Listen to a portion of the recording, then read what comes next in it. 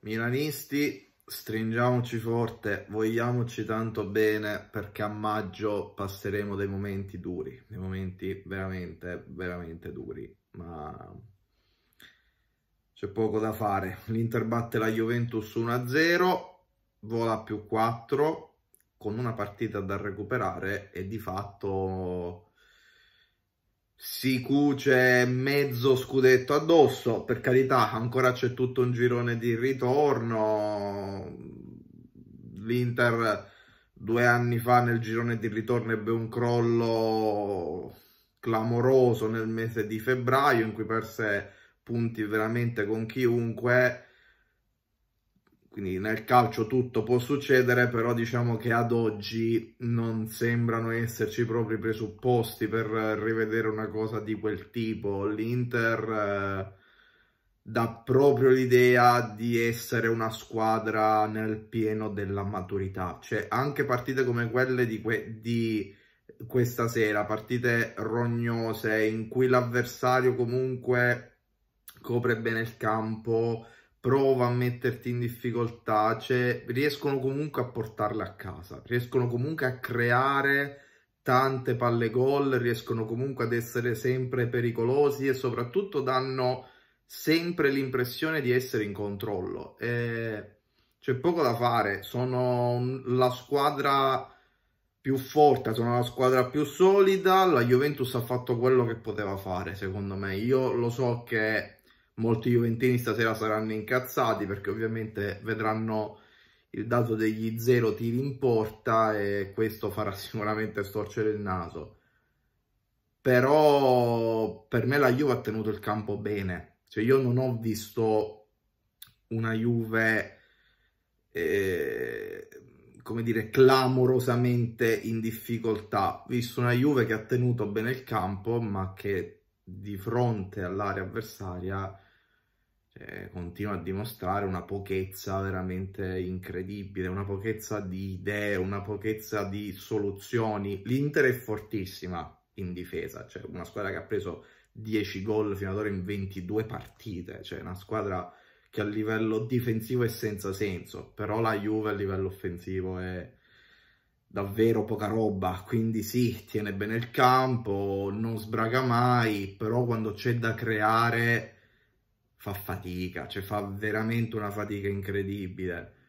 Poi sì, l'episodio c'è sempre perché siamo qui a dirci se Vlaovic stoppa bene quella palla magari nasce un'altra partita, sì ma è un episodio in 90 minuti, cioè l'Inter episodi di quel tipo.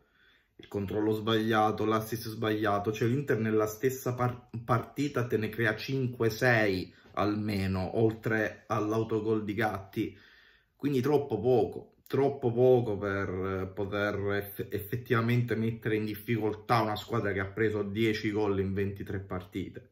Troppo poco, la Juve però secondo me deve, deve essere contenta fino ad ora del campionato che ha fatto, perché io credo che la, che la Juventus stia facendo un campionato al momento oltre quelle che sono le sue possibilità. Poi sì, non, è ovvio che non è una squadra scarsa, è una squadra di talento, ha dei giocatori importanti al suo interno, però è una squadra ancora nel mezzo, è una squadra che è ancora un po' ibrida, una squadra che non sa dov'è che deve andare, non sa diciamo, ancora come si svilupperà. L'Inter invece è una squadra nel pieno, è una, è, una, è una, squadra proprio nel pieno della maturità e si vede. La Juve no, la Juve no. E questo secondo posto e questi 53 punti conquistati in 23 partite devono essere motivo d'orgoglio, secondo me, perché, ripeto,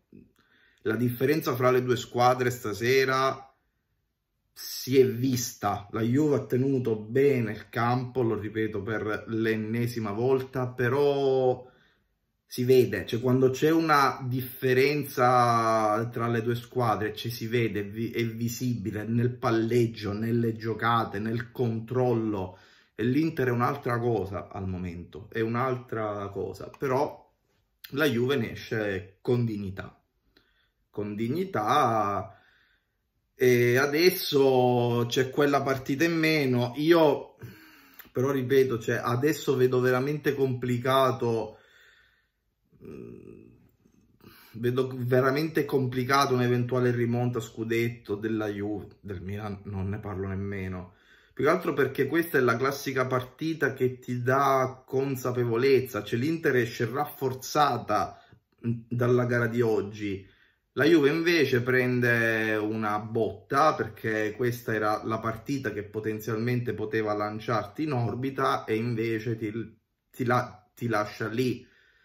Adesso bisognerà, bisognerà vedere come reagirà la Juventus, come Massimiliano Allegri riuscirà a lavorare sulla testa dei suoi giocatori, perché quando fai la bocca allo, allo scudetto, quando ci credi e avviene una cosa di questo tipo, il contraccolpo psicologico ci può essere. Queste sono partite che per forza di cose vanno a segnare i, ca i campionati e sono partite che cambiano un po' la testa dei giocatori. Io faccio sempre il riferimento a due anni fa, Due anni fa l'Inter, quando perse il derby con noi, con il famoso gol di Giroud, si è girato Giroud, bei tempi, cioè, l'Inter lì a livello psicologico ha preso una botta incredibile si, e, e, da quel derby nacque il nostro scudetto perché loro non si sono più ripresi, non si sono più ripresi, hanno perso tante certezze.